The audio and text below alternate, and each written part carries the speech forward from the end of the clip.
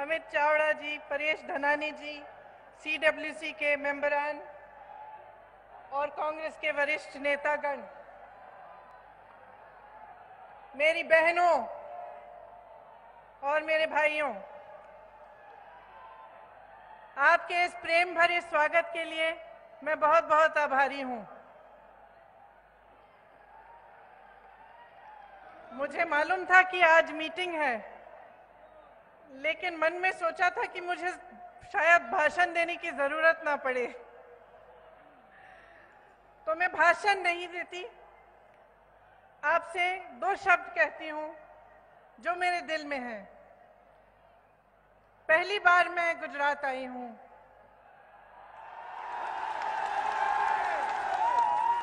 और पहली बार साबरमती के उस आश्रम में गई, जहाँ से महात्मा गांधी जी ने इस देश की आज़ादी का संघर्ष शुरू किया था। और मैं बता नहीं सकती आपको कि वहाँ उस, उन पेड़ों के नीचे बैठे हुए, भजन सुनते हुए मेरे दिल में क्या भावना जागी। ऐसे लगा कि आँसू आने वाले हैं, क्योंकि मैंने उन देशभक्तों के बारे में सोचा, जिन्होंने जीवन संघर्ष किया। जिन्होंने इस देश के लिए अपनी जान दी, सब कुछ त्याग कर दिया। जिनके बलिदानों पर इस देश की नींव डली है। वहाँ बैठे हुए मन में ये बात आई कि ये देश प्रेम, सद्भावना और आपसी प्यार के आधार पर बना है। आज जो कुछ देश में हो रहा है, उससे दुख होता है। और आप सब यहाँ इतनी तादाद में आए हैं। मैं दिल से आपको कहना चाहती हूँ कि इससे बड़ी कोई देशभक्ति नहीं है कि आप जागरूक बने। आपकी जागरूकता एक हथियार है। आपका वोट एक हथियार है।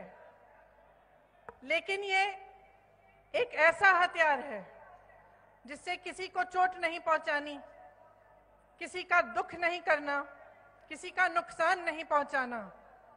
ये एक ऐसा हथियार है जो आपको मज़बूत बनाएगा। आपको बहुत गहराई से सोचना पड़ेगा कि यह चुनाव क्या है। इसमें आप क्या चुनने जा रहे हैं? आप अपना भविष्य चुनने जा रहे हैं। फिजूल के मुद्दे नहीं उठने चाहिए। जो मुद्दे उठने चाहिए, वो ये होने चाहिए कि आपके लिए सबसे महत्वपूर्ण क्या है। आप आगे कैसे बढ़ेंगे? नौजवानों को रोज़गार कैसे मिलेगा? महिलाएँ सुरक्षित कैसे महसूस करेंगी अपने आप को? आगे कैसे बढ़ेंगी? किसानों के लिए क्या किया जाएगा? ये चुनावी मुद्दे हैं। और आपकी जागरूकता ही इन मुद्दों को आगे ला सकती है। तो मैं आपसे आग्रह करना चाहती हूँ कि सोच समझ के इस बार आप निर्णय लें। जो आपके सामने बड़ी बड़ी बातें करते हैं बड़े बड़े वादे करते हैं, उनसे पूछिए जो दो करोड़ रोज़गार उन्होंने आपको उन, जिनका उन्होंने आपको वचन दिया था वो रोज़गार कहाँ है? उनसे पूछिए कि जो पंद्रह लाख आपके खाते में आने थे वो पंद्रह लाख कहाँ गए? जिन महिलाओं की सुरक्षा की बात करते थे उन महिलाओं को किसने पूछा है इन पाँच सालों में? सही सवाल करिए इस चुनाव में। आगे आने वाले दो महीनों में आपके सामने तमाम मुद्दे उछाले जाएँगे। आपकी जागरूकता ही इस देश को बनाएगी। ये आपकी ज़िम्मेदारी है। आपकी देशभक्ति इसी में प्रकट होनी चाहिए। तो यहाँ पे, जहाँ से हमारी आज़ादी की लड़ाई शुरू हुई थी, जहाँ से गांधी जी ने प्रेम की आवाज़ उठाई थी, सद्भावना की आवाज़ उठाई थी, अहिंसा की आवाज़ उठाई थी। मैं सोचती हूँ यहीं से आवाज़ उठनी चाहिए। जो अपनी फितरत की बात करते हैं आपके सामने, आप उन्हें बताइए कि इस देश की फितरत क्या है? इस देश की फितरत है कि जर्रे जर्रे में सच्चाई ढूंढ के निकालेगी। इस देश की फितरत है कि नफरत की हवाओं को प्रेम और करुणा में बदलेगी। ये आवाज़ आप यहाँ से उठाइए। आने वाले दिनों में सही निर्णय लीजिए, सही मुद्दे उठाइए, सही सवाल करिए, क्योंकि ये देश आपका है। आपने बनाया है। मेरे किसान भाइयों ने बनाया है। मेरी बहनों ने बनाया है। जो रोज सुबह शाम मेहनत करती हैं, नौजवानों ने बनाया है। और किसी ने ये देश नहीं बनाया है। ये देश और किसी का नहीं है।